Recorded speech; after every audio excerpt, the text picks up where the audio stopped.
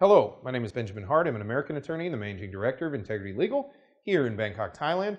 As the title of this video suggests, we're going to be discussing permanent residence here in the Kingdom of Thailand. Specifically, we're talking about Form TM9, the application for permanent residence in the Kingdom. Um, basically, this is the official immigration form. As you can see, it requires photos.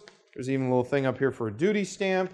Um, this form is sort of the foundational form, if you will, for the filing of uh, Thai permanent residence, immigrant status here in the Kingdom of Thailand. Now, uh, what, fo- what this form is, is, in my opinion, deceptive is perhaps the wrong word, but it seems far more simple than it actually is when you're looking at the overall uh, issues associated with the adjudication of a permanent residence um, petition. So we've got the form here, okay?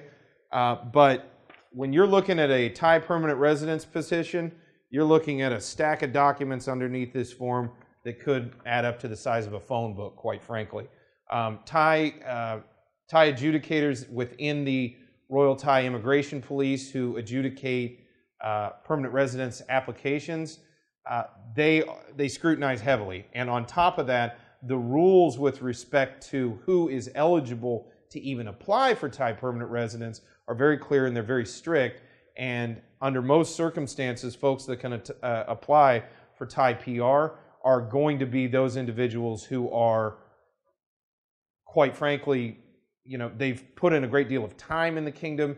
They have a great deal of documentation, and they need to present a lot of that documentation and present a lot of their evidence of their time in the kingdom in order to have a successful adjudication for Thai PR. So the thing to take away from this video is, yes, this is the form. Uh, this is sort of the foundational document from whence you begin, but in much the same way that in The Wizard of Oz, Dorothy sort of began on a little patch of the yellow brick road and it goes on and on and on. Yeah, there's a lot more to these petitions than simply this form. This, this is not the end all be all with respect to adjudication of one's ability to be a permanent resident in Thailand.